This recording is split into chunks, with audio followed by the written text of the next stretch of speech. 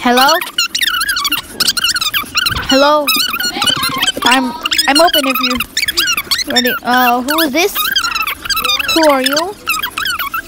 Who are you? Uh, wait. Oh, here. Oh, here. Oh. Hey guys, welcome to That Tank Kitchen, and today we're gonna talk about Sonic the Hedgehog.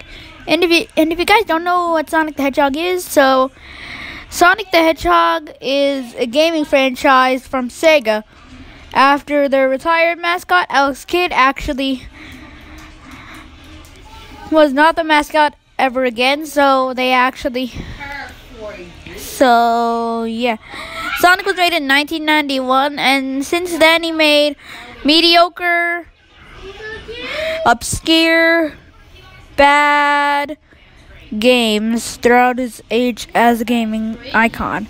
So, yeah. Some of the games are Sonic the Hedgehog 1, 2, 3, and Knuckles. So, yeah, those are the titles that were passed.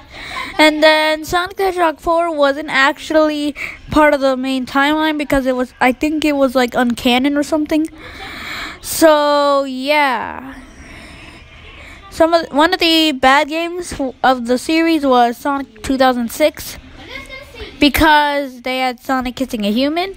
Mm, they didn't want they did they did not like that.